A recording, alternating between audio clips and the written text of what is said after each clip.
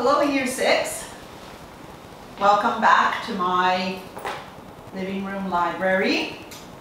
Today I want to share with you two picture books and I've chosen these two picture books because I think they have something to do with how you, we express ourselves for your UOI this term.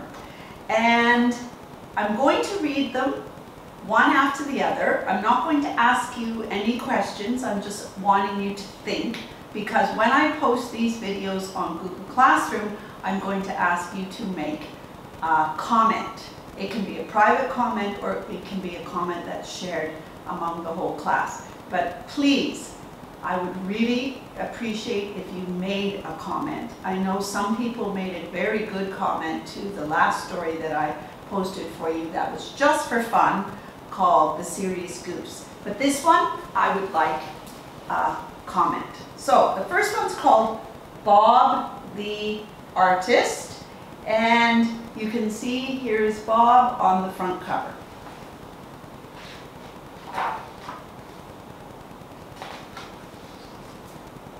Bob the artist. What a beautiful day for a walk on my fine legs, says Bob. Please notice up in the corner, we have a bat. Eek! Look at those skinny legs, says Cat. Ooh, look at that funny stick walk, says Owl.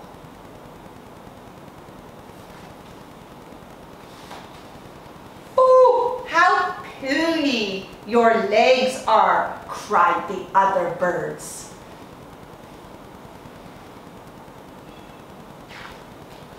This teasing made Bob very sad. Bob's skinny legs. Then Bob had an idea. Gym, I'll exercise my legs bigger.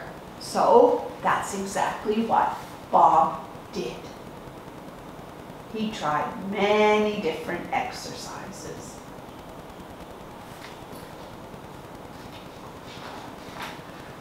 But that did not work. Restaurant! I know, I'll eat my legs bigger. So Bob ate and ate and ate.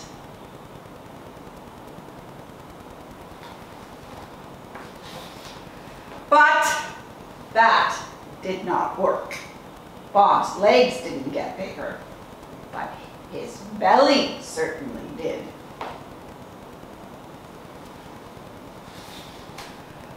His next plan was simple. Fashion, I'll dress up to hide my legs. But he just felt ridiculous.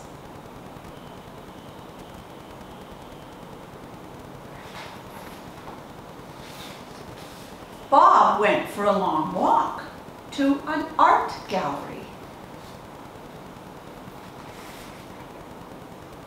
I'm wondering if you recognize any of the paintings.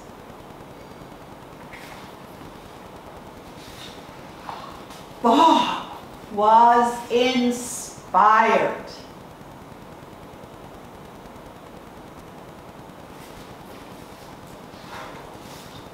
Bob had a brilliant idea. He got his paints out and started to color his beak.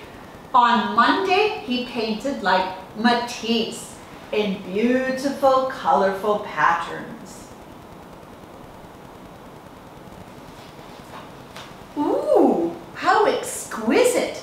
A genius! Incredible! Such daring, amazing color! Stupendous! Brilliant!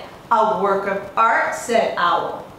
On Tuesdays, Bob painted his beak in bright splatters like the painter Jackson Pollock.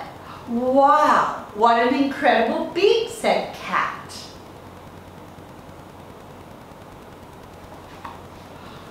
And so, now every day, Bob paints his beak in a different way.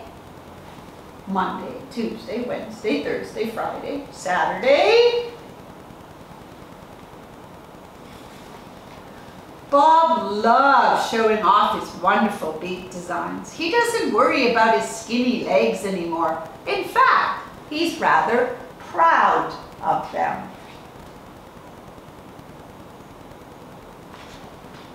And sometimes Bob even likes to have his beak red. What an elegant walk, said Owl. Great legs, said Cat. How minimal, said his friend Bat. Now, what do you guys think? The author, Marion Deuchars, is trying to tell us in the story Bob the Artist. Distraction, maybe? All right, now I have another book by the same author, Marion Deuchars, called Bob's Blue Period.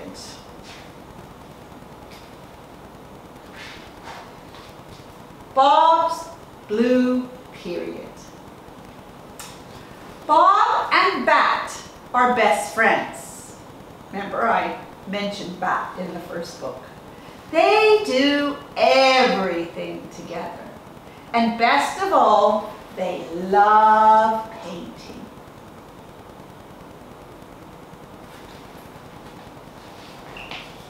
But one day, Bob couldn't find Bat anywhere, only a note. Dear Bob, I'm so sorry, but I must go away for a while. Your best friend, Bat.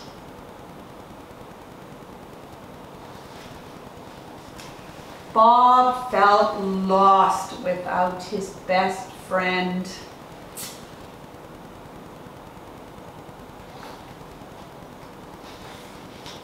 Maybe I'll do some painting, said Bob.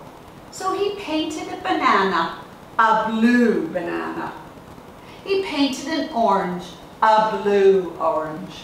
He painted a tree, a blue tree. In fact, everything he painted, he painted blue. There was a big blue hole where Bat used to be. Owl and Cat came to have their portraits painted. Where's Bat? What happened to all the colors? whispered the birds. Brrr, shuddered Owl.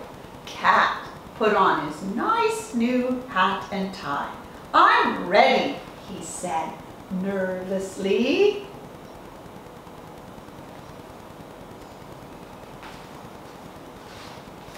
So Bob painted Cat. Can you predict? What's Cat gonna look like? Exactly, blue. Oh dear, guess it's my turn, said Owl. So Bob painted Owl. And what color is Owl? You're right, blue. Everything Bob painted was blue. Bob missed Bat so much that his whole world was turning blue. What to do, hooted Owl. We have got to do something, shouted the birds. They had an idea. Bob, there is something you have got to see. And grabbing him, they ran for the door. Owl, out into the night they went. Where are we going? said Bob. Are we there yet? Very blue. They reached the top of the hill just as the sun was rising. Wow! Who painted that? Bob had forgotten how many beautiful colors there are in the world.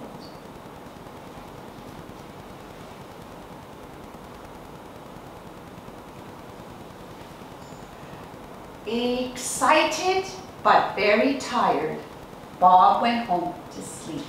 His dreams were full of color. When Bob woke up, he felt so different. And just then, a postcard dropped through the letterbox. Dear Bob, I've had a very long sleep in a lovely damp dark cave. I really missed you, but now I feel better and I'm on my way home. Your best friend, Bat. Bat is coming home, cried Bob. And he opened the door and there was Bat. Did you get my card? asked Bat. All the friends had a big party to celebrate Bat's return. Welcome home, Bat. Now Bob's world is full of color again. He paints grass green, he paints oranges orange, and his bananas are, well, who said you can't paint your bananas any color you like? I quite liked your blue period, said Bat. Okay, so that's the end of the two books about Bob the artist and Bob's blue period. And I'm going to post these on Google Classroom and I will have a question for you to answer. I hope you enjoyed these picture books. All right, be well and be good, year six. Bye.